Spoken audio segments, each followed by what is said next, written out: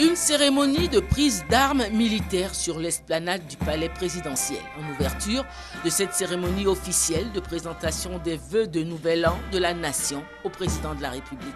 Quand le président de la République, Alassane Ouattara, a ensuite regagné la grande salle des pas perdus du palais présidentiel, le grand bal de présentation des vœux pouvait alors commencer, selon l'ordre protocolaire traditionnel. Le président de l'Assemblée nationale, le Premier ministre, chef du gouvernement, ministre de l'économie, des finances et du budget, les présidents des différentes institutions de l'État, le gouvernement représenté par presque tous les ministres, seuls deux ministres empêchés étaient absents. Les collaborateurs du président de la République, dont les gouverneurs des districts autonomes d'Abidjan et de Yamoussoukro, les conseillers spéciaux du président de la République, le chef d'état-major particulier du président de la République. Hormis ce premier cercle, le président de la République a également reçu les vœux de chaque institution de la République. L'Assemblée nationale, la Cour suprême, le Conseil constitutionnel, la Grande Chancellerie, la médiature, la CDVR, l'inspection générale d'État.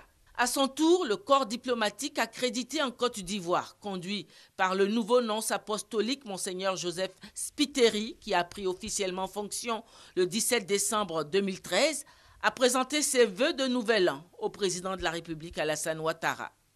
Représentation diplomatique accréditée en Côte d'Ivoire, organisation internationale, ONU, Union africaine, BAD, organisations et institutions régionales et sous-régionales africaines, BCAO, CDAO, le corps diplomatique accrédité en Côte d'Ivoire par la voix du doyen de ce corps, le nonce apostolique, a dit ses félicitations au chef de l'État ivoirien pour ses efforts en vue de donner une vie meilleure à ses compatriotes. Le corps diplomatique a aussi encouragé les efforts du président de la République, Alassane Ouattara, pour créer un climat apaisé en Côte d'Ivoire. Fort de ce constat, il a souhaité un avenir meilleur à la Côte d'Ivoire. Au sein de cette année nouvelle, nous pouvons envisager avec espérance un avenir meilleur pour la Côte d'Ivoire. Le déblocage et la révalorisation des salaires des fonctionnaires, comme toutes les autres initiatives sociales annoncées pour le nouvel an, soulignent la continuation des œuvres publiques destiné à rendre service à la population, surtout en favorisant le système sanitaire public et l'éducation. Les membres du corps diplomatique qui ont acquis le bien de la Côte d'Ivoire saluent votre intention de continuer au cours de l'année 2014 les efforts en faveur de la réconciliation et de la cohésion sociale, la poursuite du dialogue avec l'opposition politique, la mise en liberté provisoire d'autres détenus de la crise post-électorale, l'intensification de la politique de retour volontaire des réfugiés ivoiriens. 2013, année qui a vu l'amélioration notable de la situation sécuritaire en Côte d'Ivoire et le retour d'un nombre de plus en plus croissant de réfugiés ivoiriens, a relevé le président de la République, qui a promis tout mettre en œuvre pour accélérer ce mouvement de retour.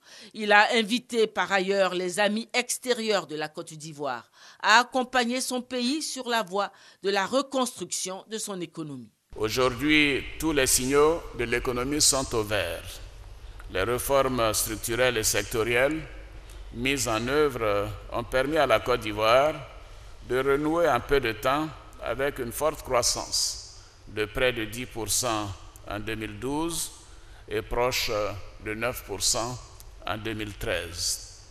Le forum Investir en Côte d'Ivoire, ici 2014, qui se tiendra à Abidjan du 29 janvier au 1er février 2014, est une opportunité d'accélérer les investissements publics et privés.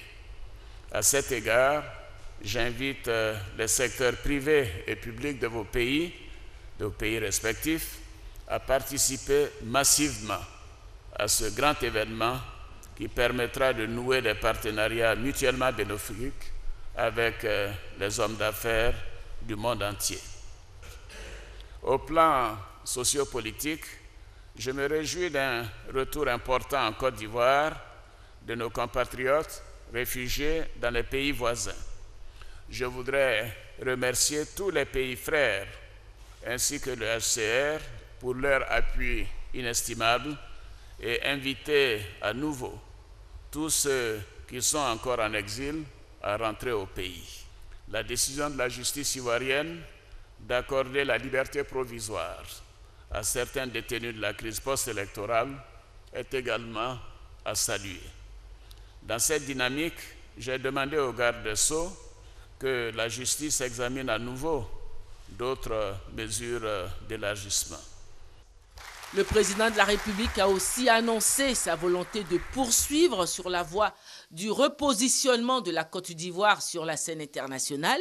À cet effet, il a fait savoir sa volonté d'élargir encore plus en 2014 le cercle des relations de la Côte d'Ivoire avec l'extérieur.